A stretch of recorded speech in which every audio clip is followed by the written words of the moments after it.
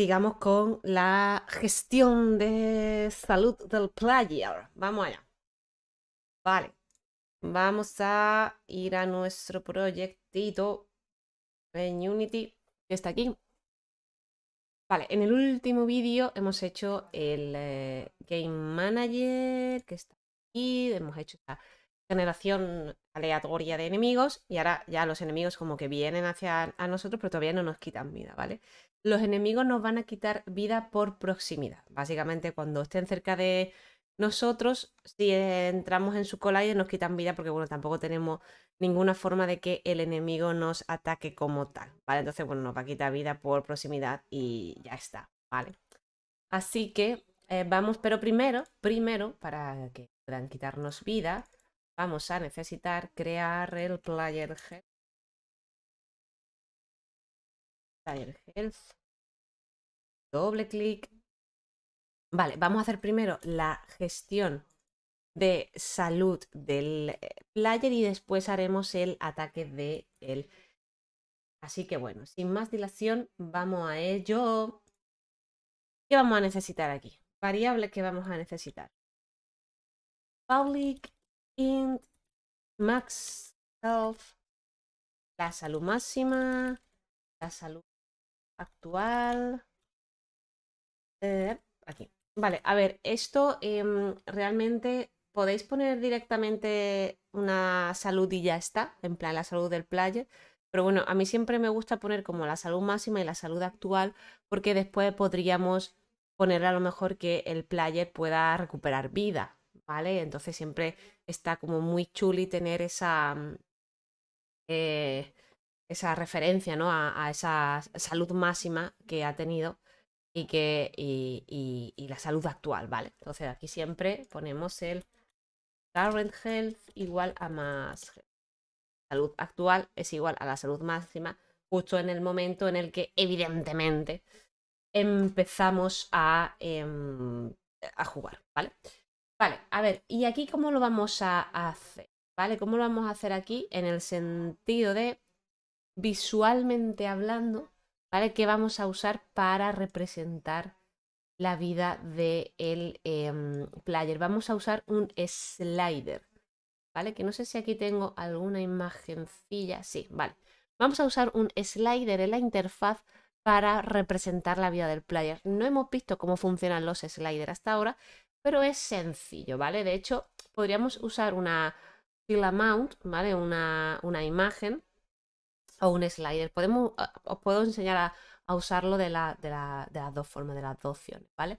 Vamos a ir primero a Gain Object, UI,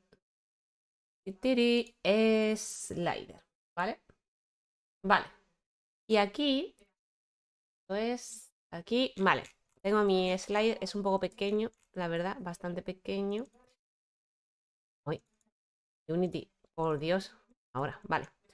Voy a poner, bueno, podemos poner el slider donde queramos.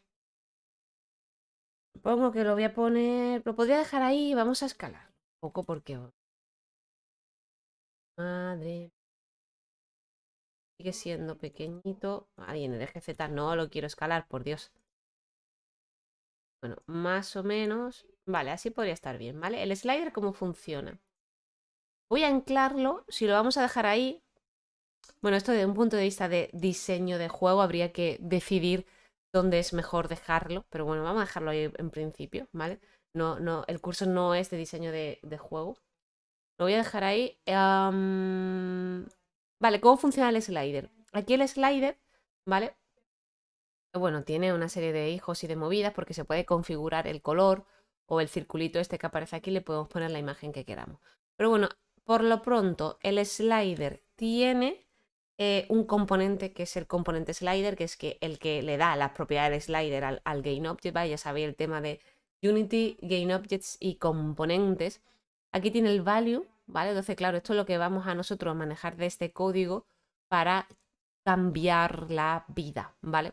Aquí tiene un valor mínimo y un valor máximo. Aquí yo le puedo poner, si la vida máxima del player es 52, pues le pongo 52. Y entonces automáticamente el value ¿vale? Este valor va a cambiar de 0 a el max value, ¿vale? El valor máximo. Entonces es muy guay porque es muy, muy configurable, ¿vale? Si pusiésemos una imagen, que si queréis lo podemos hacer luego para que lo veáis, si pusiésemos una imagen, eh, por ejemplo, le voy a poner esta imagen de aquí, ¿vale?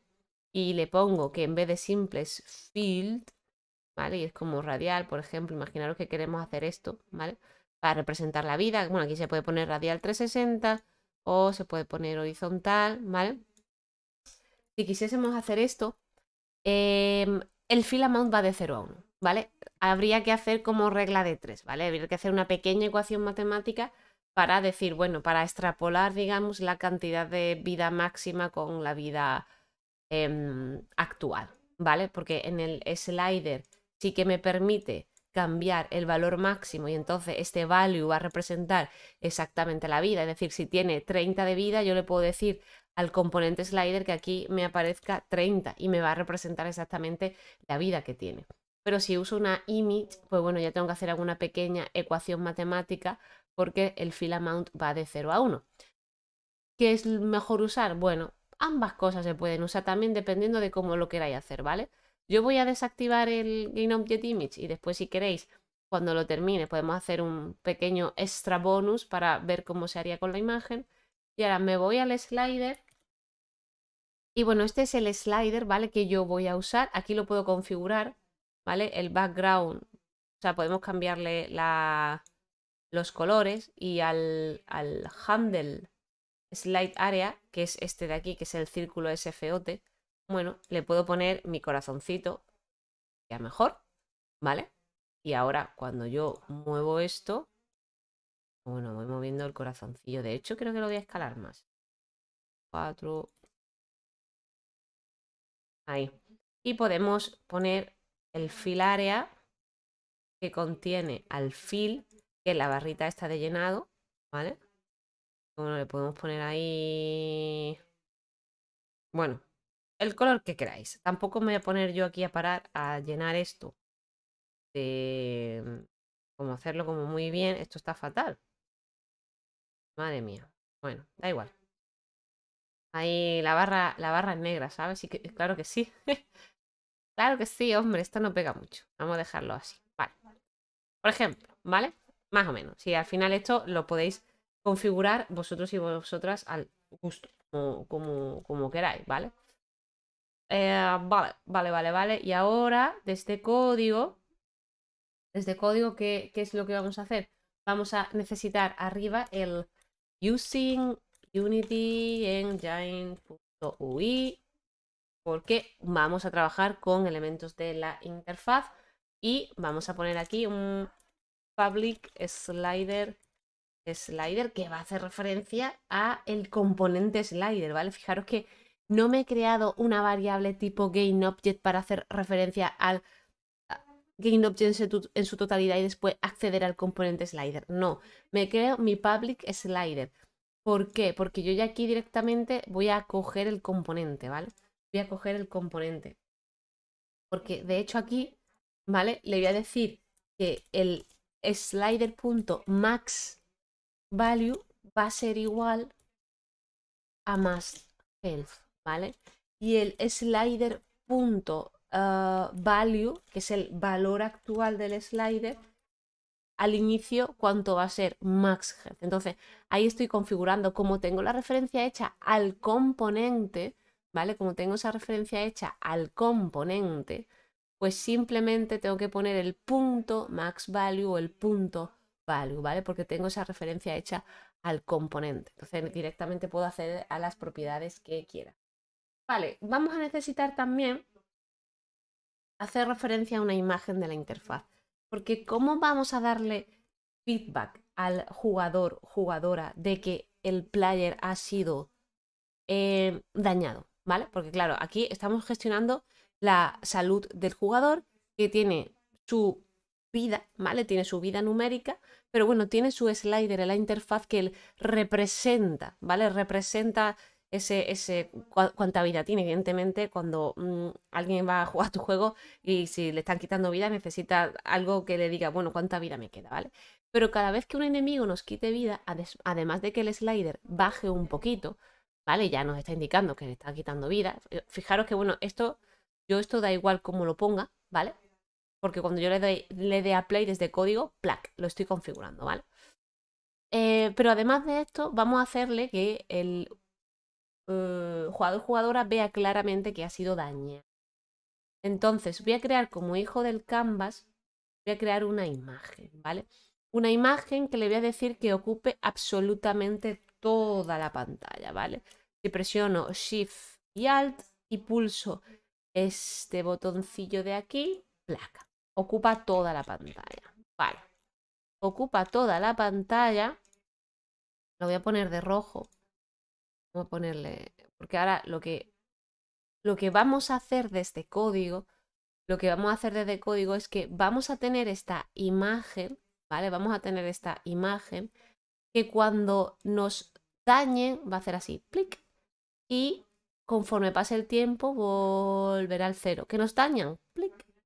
Y bueno, no tanto. Ahora desde código configuramos. Pero la idea es que cuando nos dañen se vea como la pantalla un poco roja, transparente, para que sigamos viendo lo que hay ahí en el fondo.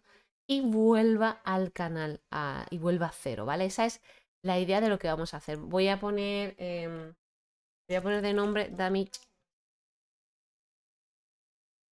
damage image, ¿vale? vamos a poner de nombre.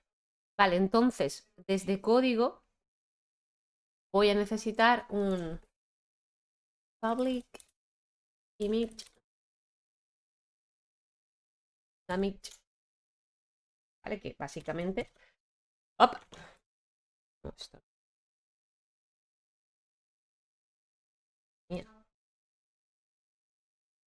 Me ha vuelto loco esto.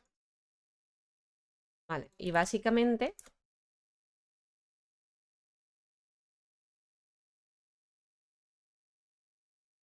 y básicamente lo que vamos a tener ahí es eh, meterle la imagen, ¿vale? ¿Qué más vamos a necesitar?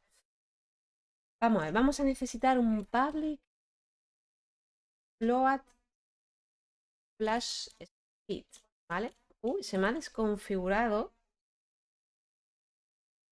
el teclado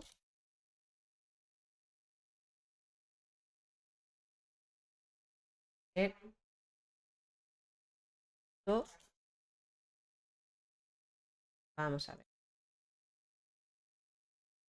Un momento.